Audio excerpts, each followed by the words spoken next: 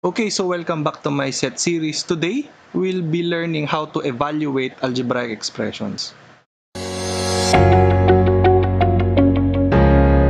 So today, our topic will be re- relatively easy, no? So we just need to learn how to evaluate algebraic expressions, okay? So to evaluate algebraic expressions, we just basically substitute the values, okay? So the values assigned to the variables. Okay, so let's do some examples, no?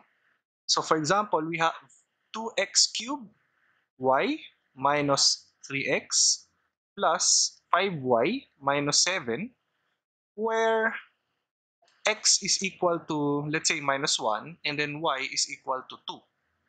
Okay, so again, we just substitute the values, no? So 2 times x is minus 1, no? so negative 1, cube. Okay, take note na kasama yung negative na naka-cube, y is 2, minus 3 times x is negative 1 again, plus 5 times y is 2, minus 7. Okay, so now we evaluate this. 2 times negative 1 cube times 2, that is negative 4. Negative 3 times negative 1, that is positive 3. And then plus 5 times 2, that is 10. Negative 7 is still negative 7. So if you evaluate this, this will be 2. Okay? So let's step it up a bit. Okay? Let's say you have 3xy plus 4x minus 2 all over 2xy where x is equal to negative 3 and y is equal to 10. Okay? So again, we just substitute the values of x. So 3 times minus 3. y is 10 plus 4 times negative 3 minus 2. Okay? All over 2 times negative 3. y is 10. Okay? So now let's evaluate this. Neg 3 times negative 3 times 10, that will be negative 90. 4 times negative 3, that will be negative 12 minus 2 all over 2 times minus 3 times 10, that will be minus 60. And if you evaluate this, this will be equal to negative 104 all over negative 60. And if, and sa entrance exam, kailangan naka-lowest terms ito. So, I hope by now you know how to reduce fractions into lowest terms. So, this is equal to 26 all over 15.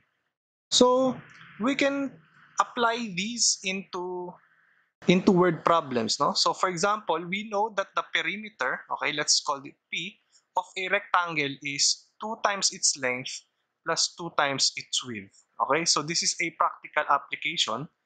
And let's say sinabi sa atin na yung length ay equal sa 12 and yung width equal sa 7 so to solve for the perimeter of the rectangle, you just plug in the values of L and W. No? So 2 times 12 plus 2 times 7. So 2 times 12 is 24. 2 times 7 is 14. So P is now equal to 38. Okay?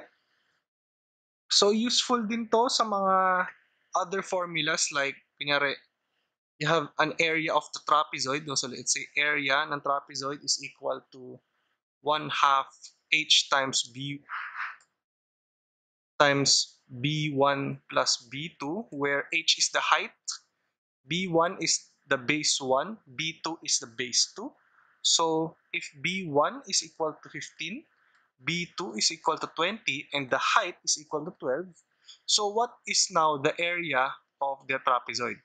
So i will leave this question to you. Leave your answers in the comments down below and i hope to see you again next time